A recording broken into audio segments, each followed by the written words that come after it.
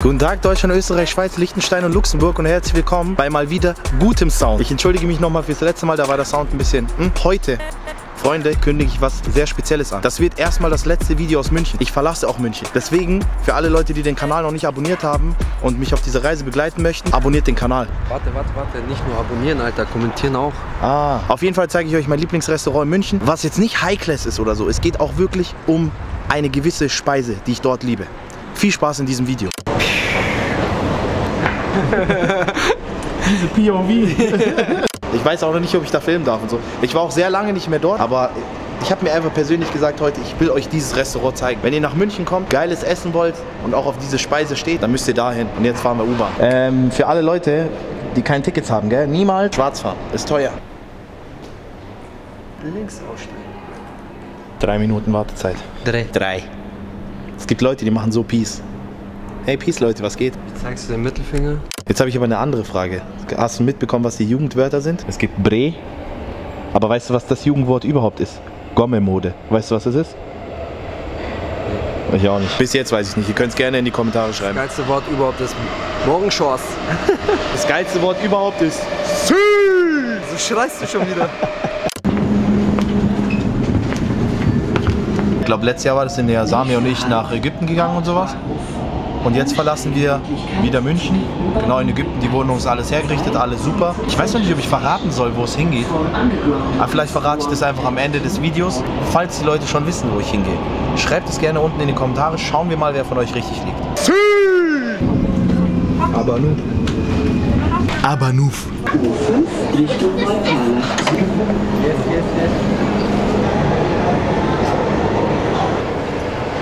Wir nehmen auf jeden Fall den Ausgang Richtung Bayerstraße. Warte mal, wo ist der Laden? Ich habe schon wieder vergessen. Ah, da müssen schon ein bisschen spazieren, gell? Spazieren. Ah, jetzt gleich hier links, gell? Kennst du dein Lieblingsrestaurant nicht mehr? du Ja, ich war lange nicht mehr dort, Bruder, ehrlich. Aber trotzdem, das Wetter ist heute sehr schön. Schaut euch um.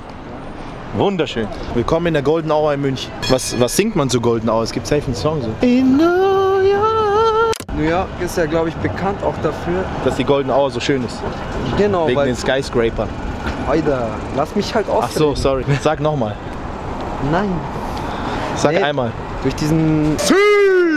Ich persönlich würde sogar sagen, ich bin der erste YouTuber, falls ich da drehen darf, das wissen wir noch nicht, der auf jeden Fall dort ein Video dreht. Weil den Laden kennen sehr viele. Ich habe hab den auch nicht selber gefunden, sondern früher, ich weiß nicht, ich glaube, ich bin das erste Mal mit 17 dahin gegangen. Du bist doch erst 18. Ach so, stimmt. Ich weiß nicht, wie die Straße heißt. Ich glaube, wie heißt die Straße hier? Nein. Nee, das ist die, glaube ich. Die Schwanthaler Straße. Habe ich auch nicht da abgelesen. Du auch nicht. Auf jeden Fall würde ich sagen, diese Straße, weiß ich nicht, aber das kann man so die Sonderallee von München nennen, würde ich sagen. Ein bisschen arabisches Essen, ein bisschen Multikulti, aber ich liebe diese Straße. Schaut hier. Uh, ich schwör, sieht lecker aus. Schön mit viel Juice. Tschüss. Randy Gamble, Joker Gamble. Wir sind immer noch nicht auf der richtigen Straße, wir müssen noch mal eins weiter nach links. Schwanthaler Straße. Ich weiß gerade nicht, wo der Laden ist, Alter. aber Das kann nicht sein. Ich google jetzt. Und Freunde, es handelt sich um das Sarah Restaurant. 1221 Bewertungen und 4 Sterne. Und für alle Münchner, die diesen Laden kennen, werden, ich kann mir nicht vorstellen, dass jemand sagt, nee, das schmeckt ihm dort nicht oder so. Wann warst du zuletzt dort essen? Ich glaube, vor drei Jahren, vor Corona irgendwann. Und es ist auch genau die richtige Uhrzeit, um jetzt hier aufzutauchen. Viel los auf dieser Straße. Da sind wir, Freunde. Wir brauchen einen guten Platz. Grüß dich, Abel. Kurze Frage. Ist es okay, wenn wir so ein bisschen filmen hier? Und so ist es okay für euch? Ah, das ist schon gehört. Passt, alles gut. Danke, Chef. Heute teuer? Ich komme eh schon seit Jahren hierher. Ich bin aus München, ich ziehe jetzt weg. Aber ich habe gesagt, ich will noch einmal dieses Restaurant so zeigen, weil es eines meiner Lieblingsrestaurants ist. Sehr gerne. Sarah Grillhaus, Freunde. Jetzt schauen wir einfach. Das wird jetzt, glaube ich, wirklich lecker. Uh, freue ich mich jetzt. Weißt du schon, was du isst? Das ist nicht dein, oder? Grüß dich, Chef. Was machst du? Filmen heute. Euer Restaurant. Vor wem? Für mich YouTube. YouTube, okay? Ja, ja, weil ich komme ewig schon hierher. Instagram nicht, nur YouTube. Nee, du, du bist YouTuber. Genau. Wallah. Ich muss auch sagen, weil es so meine letzten, also heute, morgen bin ich noch in München, dann bin ich nicht mehr da. Das ist auch ein kleines Abschiedsessen von mir und Emre. Kommen wir zur Karte, meine Freunde. Schauen wir rein in diese wunderschöne Karte. Es gibt wirklich, ich habe hier schon wirklich fast alles gegessen. Diese Linsensuppe ist der absolute Endgegner. Mit Sumakpulver, bisschen Zitrone, bisschen scharf. Boah, zu diesem Brot kommen wir gleich. Ich zeige euch noch hier eine bestimmte Station, die neben dem Laden ist. Jedes einzelne Brot, was du hier auf den Tisch bekommst, wird hier in diesem, wie heißen diese Öfen nochmal, wo du so tschick. Wie heißen die nochmal? Ihr wisst auf jeden Fall, was ich meine. Diese Öfen, wo das Brot immer so tschack, tschack, tschack dran gemacht wird. Aber das zeige ich euch gleich. Dann gibt es hier noch allerlei verschiedene Hauptspeisen, so weiße Bohnen, weiße Bohnen mit Basmati-Reis, Aubergineneintopf mit Basmati-Reis. Aber wir sind heute hier auch nicht für die Cousins, sondern für den Grill-Kebab. So, und das Geile ist, ihr seht schon, das ist sehr arabisch geprägt hier alles. Hier steht auch extra alles auf Arabisch. Schaut jetzt diese Auswahl an an verschiedenen Spießen. Das hört nicht auf. Brr, brr. Und ihr seht auch, jeder Teller sieht irgendwie gleich aus, aber es ist einfach immer nur anderes Fleisch. Und früher war das sogar so, ich weiß nicht, ob das immer noch so ist, dass du den Reis extra bestellen musst. So wie es jetzt hier aussieht, muss man den nicht extra bestellen. Jo, mein Kopf juckt. Es hat irgendwie den Duft von Antep gerade. Ich sag dir ehrlich, Echt was? Bruder, diese Spieße sind Endgegner. Was auch ziemlich nice ist, Leute, ihr habt direkt dieses Schaf, dieses Sumak-Pulver, alles am Tisch stehen, Salz, Pfeffer, Zucker für den Chai. Leicht, leicht wieder wirklich so, gefühlt bin ich gerade in Ägypten so wieder. Ich glaube, wir schauen ganz kurz in die Küche.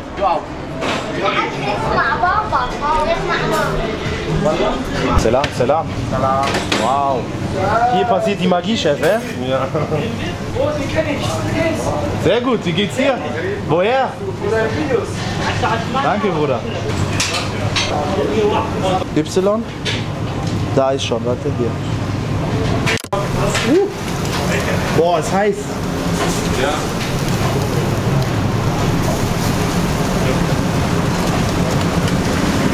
Ah, hier ist der Reis, eh? Ja, Reis. Wow. Ich liebe euren Reis, der ist so lecker. Mit Kurse, warm habe ich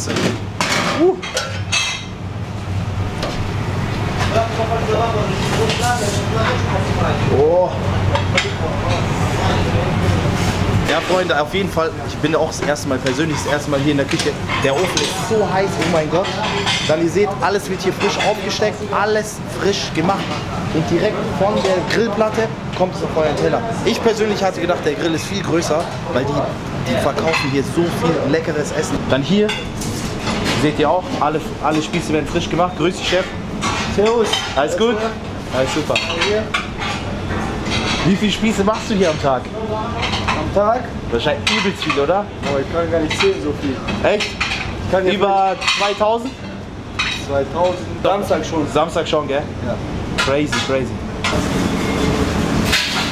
Freunde, danke euch, gell? Danke dir. Danke, ciao, ciao. Oh.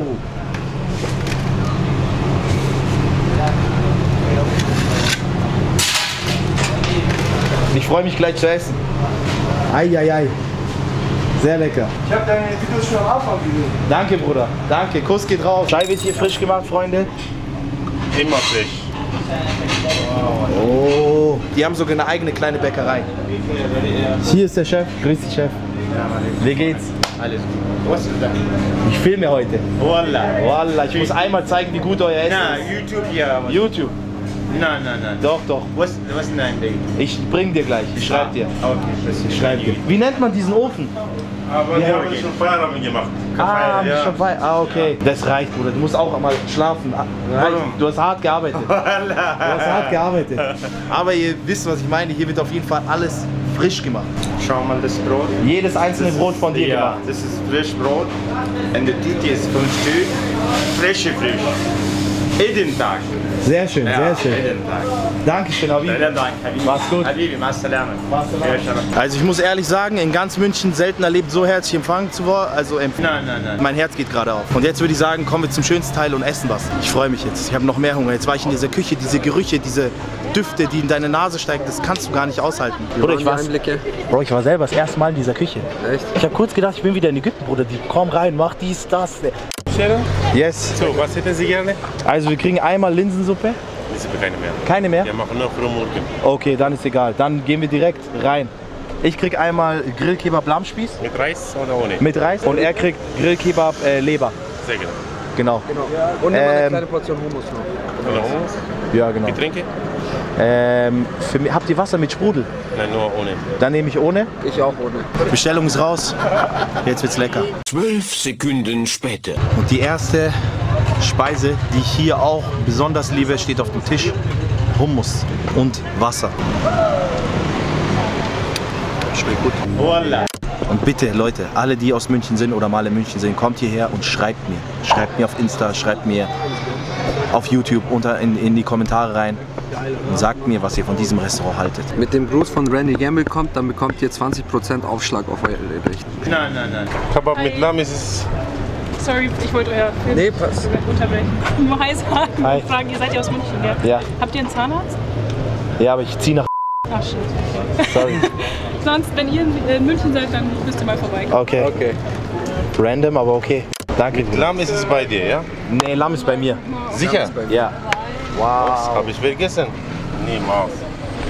Kebab mit Leber Sie? Willkommen zu meinem wahrscheinlich Lieblingsrestaurant in München, was diese Speise auf jeden Fall angeht. Es gibt sehr viele gute Restaurants, aber das hier ist einer, wenn, wenn mich jemand fragt, hey, ich will was Leckeres zu essen, würde ich dir das immer empfehlen. Und wir schnappen uns Brot und fahren jetzt in diesen Hummus rein. Eigentlich muss ich ehrlich sagen, das Brot kriegst du immer richtig schön heiß, warm. Mein Traum war immer, das so frisch mit Nutella zu essen, aber mit Hummus lässt sich das auch verkraften. Boom, schön mit diesem Öl. Mehr Hummus als Brot, das ist das Gesetz, das ungeschriebene Gesetz.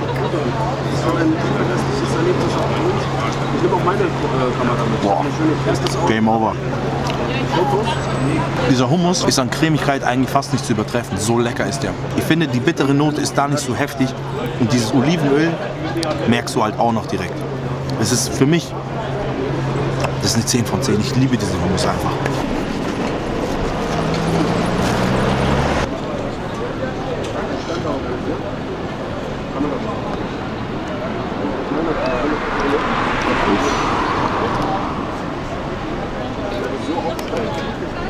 Schau, wie cremig der Mund wird. Ja, Mann.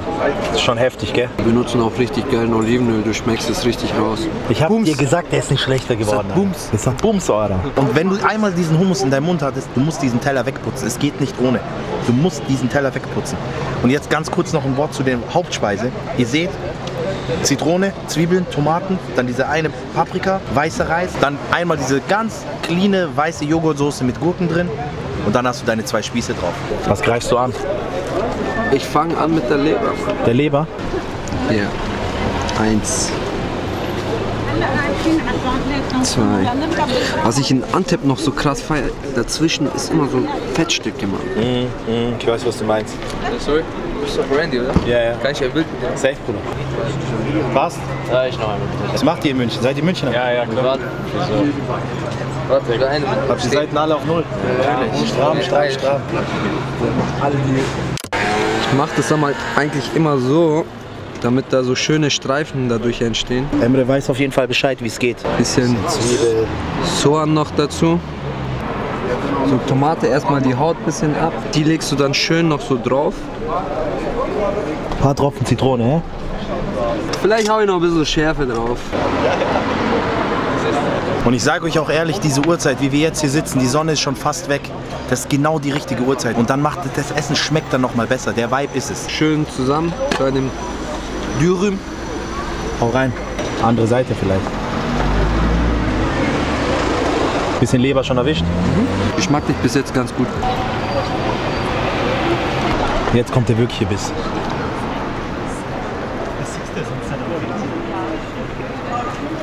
Finde auch bei Leber kann man sehr viel falsch machen, gell? Also wenn die hier gut ist, dann ist schon mal das ist ein Zeichen für die. Das Problem bei Leber ist, dass es meistens so matschig ist. Kommt die an Antep ran? Nee. Nicht? Die Schärfe ist auch geil gerade. Ja, für die Schärfe können die nichts. Das hast du gemacht. So wie das Emre macht, habe ich das auch sehr lange gemacht. Aber ich persönlich bin jetzt mittlerweile so der Mensch, bap, bap, bap, bap, bap, bap, alles nach der Reihe in den Mund. Und am besten, du hörst nie auf zu essen. Wir nehmen Sumakpulver. Aufmachen. Einfach rein und über den kompletten Spieß. Bap, bap, bap, bap, bap. Und auch nicht zu wenig. Ich sage euch ehrlich, am besten ist, man sieht den Spieß nicht mehr. So liebe ich das. Ich liebe Sumakpulver über alles. So, das hat diese Säure, dieses säuerliche einfach. Dann nehmen wir die Zitrone. Komplett über den ganzen Spieß, überall Zitrone einfach. Bap, bap, bap, bap, bap. Dann einfach ein Stück Brot nehmen, abmachen den Spieß, vielleicht ein bisschen in diese Joghurtsoße reindippen, bap, bap, bap und genießen. Boah. Brot. Boah, dieses Sumakpulver schmeckt so lecker. Und dann, wenn ihr das Fleisch gerade noch am Kauen seid, okay, das war jetzt nicht der. Wenn ihr das Fleisch noch im Mund habt, Alter. Wenn ihr noch euer Essen im Mund habt, Reis nach. Und dieser Reis ist genauso lecker. Auch speziell lecker, das ist immer wichtig. Und so arbeite ich mich über diesen ganzen Teller. Bisschen Reis mit Joghurtsoße. Schnappen wir uns das Lamm und da das gleiche Spiel. Und ich würde sagen, Lammfleisch ist genauso ein Ding wie Leber. Manchen Leuten schmeckt es, manchen Leuten nicht. Während du das Lamm noch isst, nimmst du dein Brot, was du in der Hand hast, fährst in den Hummus.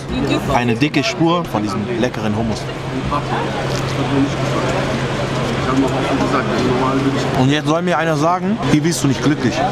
Bei diesem Essen Es ist ja unmöglich, nicht glücklich zu werden. Dieses Sumakpulver mit Zitrone ist einfach ist der Endgegner in meinen Augen. Auch der Hackfleischspieß ist mein Lieblingsspieß.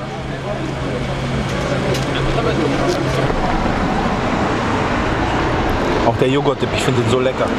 Der ist so neutral und so kühl. Sauer macht lustig. Dieser Tisch ist die pure Liebe. Hier schmeckt einfach alles.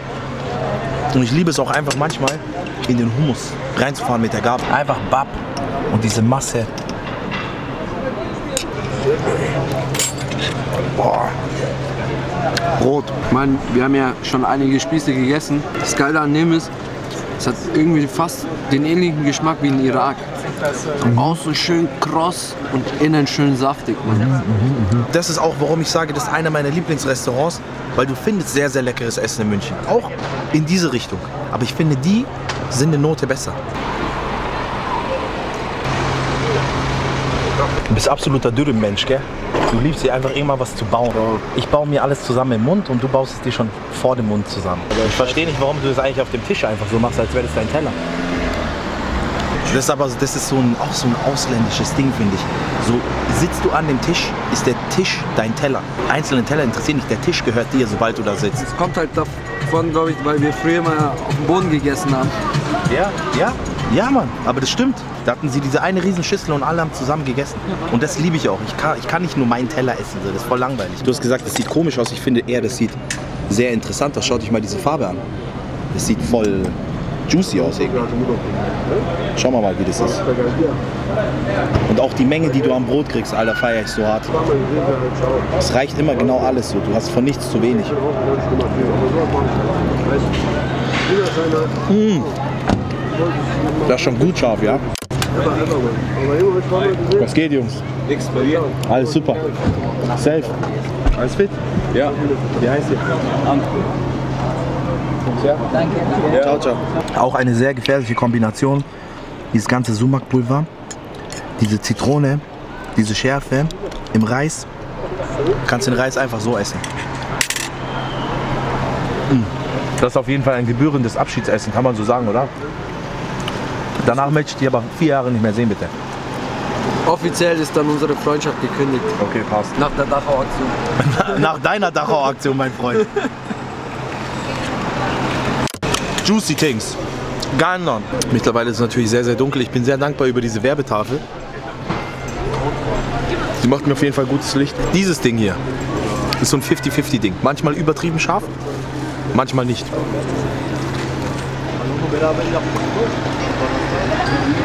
Geht, mäßig. 346 Minuten später. Was wollen Sie hören? Hat es gemundet. Oh, Eier, ne? Ich muss ehrlich sagen, damit ihr mich auch nicht falsch versteht, natürlich habe ich auch das schon wahrscheinlich ein bisschen besser gegessen. Oder auch schon ein bisschen viel besser. Egal wo auf der Welt. Aber ich sage euch eine Sache, in München, number one. Wenn ihr einen besseren Tipp habt, schreibt es unten in die Kommentare. Würde mich interessieren. Das Ganze hat jetzt 48,50 Euro gekostet. Hört sich erstmal sehr viel an, finde ich. Aber ich muss ehrlich sagen, nach dieser Portion, okay, hast du wahrscheinlich den ganzen Tag keinen Hunger mehr. Munich Number One. Spaß. Gaziantep Number One. Spaß. Munich Number One. Sebi sagt ja auch, Gut, bye bye. Eher so. Also Freunde, ich hoffe natürlich, ihr alle da draußen könnt was mit diesem Tipp anfangen. So. Ich denke, das Essen hat für sich Gesprächen, Gesprächen oder Gesprächen.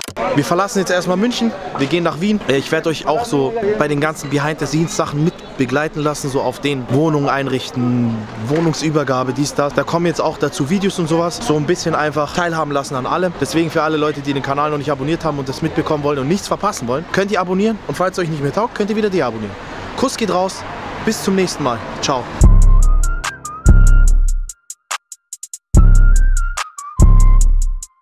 Hätte ich jetzt noch Platz für eine Nachspeise, würde mir eine reinfetzen, aber ich kann nicht mehr. Ein paar Sekunden später. Namen Deutschland, Österreich, Schweiz, Liechtenstein und Luxemburg. Ganz kurz. Wir haben hier gerade zufällig irgendwo so ein Eis geholt.